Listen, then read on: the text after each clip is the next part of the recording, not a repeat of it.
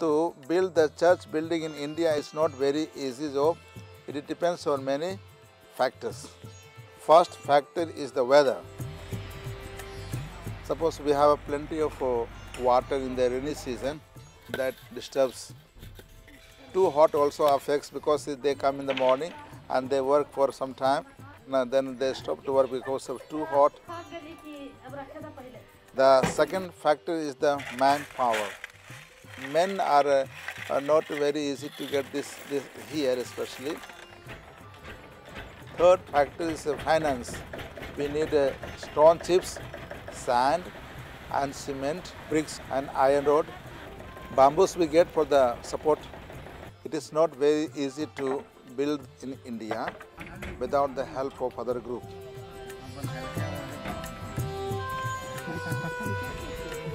Now at present time we do not have a place to pray.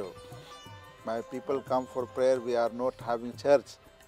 So I need your help and support.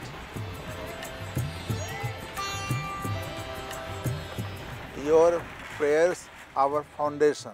Your financial support will be our walls. Your love will be our roof.